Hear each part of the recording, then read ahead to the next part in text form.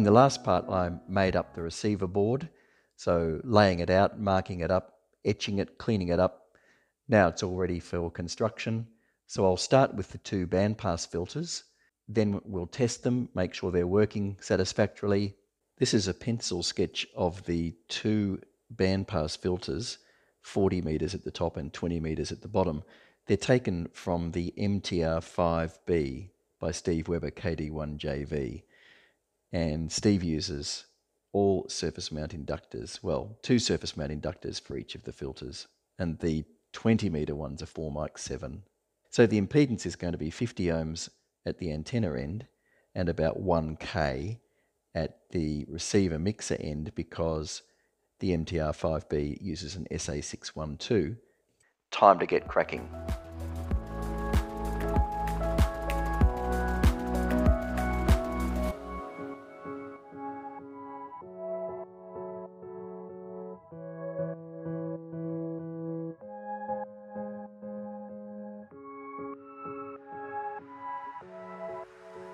So hopefully the two bandpass filters can be seen here. This is the 40 meter filter here. This is the 20 meter filter here. So these are 10 microhenry surface mount inductors in the 40 meter filter. Um, these are surface mount trim caps and the rest are just um, 1208 surface mount capacitors.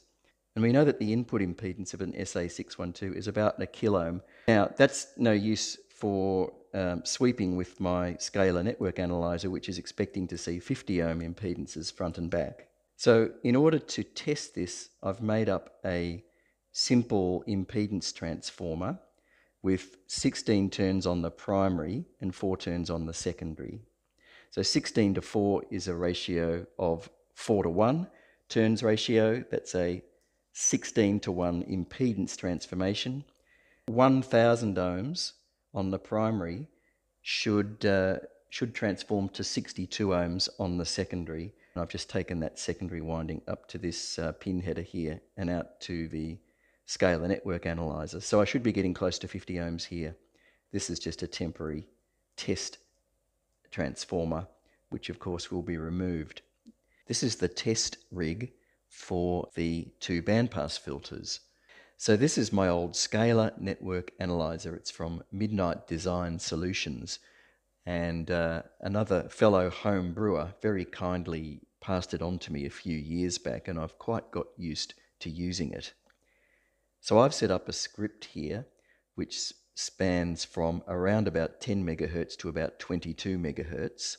So the 20 meter bandpass filter is in circuit. And here you can see the sweep. The 3 dB points are coming up at 12.96, about 13 megahertz, and 15.7 megahertz. So 13 megahertz on the low side, 15.7 megahertz on the high side, bandwidth 2.8 megahertz. And the peak of the filter is at 14220. Now that's very easily tuned. And it's showing the insertion loss as being minus 5.7 dBm. So by way of calibration, I took the bandpass filter out and just ran RF out straight to RF in, and I got between 0.1 and 0.9 dB. So probably about 0.5 dB could be considered um, loss um, internal to the instrument. So even so, that's about 5 dB of insertion loss which is, you know, it's okay. It's not great. It's a little bit high. But remember that I am using this matching transformer on the output, and um, I'm not exactly sure that that's, uh, that's set up exactly correctly. Now, one of the fun things you can do is to repeat this sweep continuously, and I'll start that just by starting the sweep and it's going to repeat and draw a new line with a different color every sweep, about not quite one a second. And as I'm tuning, hopefully you can see that I'm sweeping the center of this filter across quite a considerable range, probably two and a half megahertz. So I'll put it back to about where it needs to be. So I can adjust both the trimmers in the bandpass filter for the best shape and sort of getting too many lines. The lines are all piling up now, so I'm just going to get out of that and run it again to refresh the display. So there it is, and we've ended up with the filter peak on 13.3 megahertz. So I'm just going to tune the filter peak up a little bit. Now this display up on the top doesn't see it doesn't appear to refresh, so um, I'll have to I'll have to retune it. But but you can see with the continuous sweep how easy it is to uh, to tune bandpass filters. So that's the 20 meter bandpass filter done. So now the 40 meter bandpass filter is is in circuit. So now I have a second script, and this one sweeps from I think it's three to yeah three megahertz to 12 megahertz.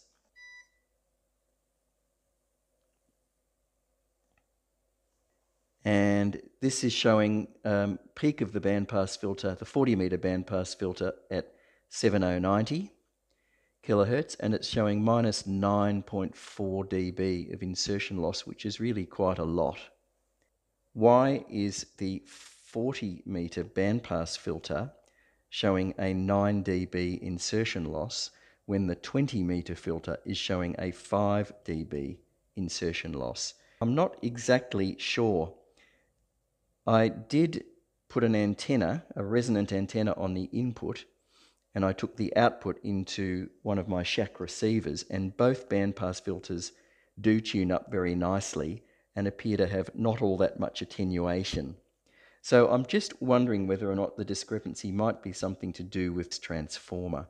You know, my initial thought was, oh, it's because I've used surface mount inductors Maybe I should pull those 10 microhenry surface mount inductors off. Maybe their Q's not high enough and replace them with a hand wound toroidal inductance of 10 microhenries.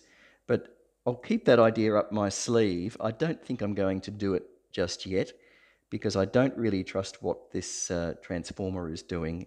And I do suspect that when I pull this out and get the SA612 product detector working uh, that I might um, gauge the relative performance of the two bandpass filters at that point and not get too carried away thinking I've got super lossy inductors in the 40 meter filter at this point in time. So I'm going to call those bandpass filters tested and, uh, and we can move on to the next stage. Well, the receiver board now has two working bandpass filters for a way of switching between them. The next stage will be to solder on the remaining components and just test them step by step. Shouldn't be too much more work to get the receiver going. I hope you can keep watching. Please like and subscribe. See you next time.